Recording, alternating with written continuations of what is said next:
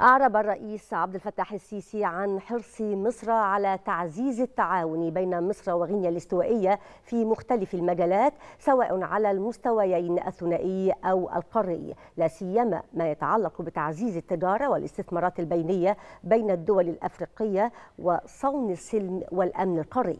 وخلال استقباله رئيسة مجلس الشيوخ لجمهورية غينيا الاستوائية تريزا إيفوا أسونغونو طلب الرئيس السيسي نقل تحيته إلى الرئيس تيودورو أوبيانغ مشيدا بالعلاقات الثنائية المتميزة التي تربط مصر بشقيقتها غينيا الاستوائية. وصرح متحدث الرئاسة بأن أسانغونو سلمت رسالة خطية إلى الرئيس السيسي من الرئيس أوبيانغ تضمنت الإعراب عن التقدير العميق لمصر وللقيادة المصرية والتطلع إلى تعزيز العلاقات الثنائية على شتى الأصعدة في ضوء جهود مصر لتلبية تطلعات الشعوب الأفريقية نحو الاستقرار والتنمية والازدهار ومساهمتها الفعالة في دفع العمل الأفريقي المشترك. كما شهد اللقاء التباحث بشأن سبل تعزيز آفاق العلاقات الثنائية خاصة على الصعيد البرلماني.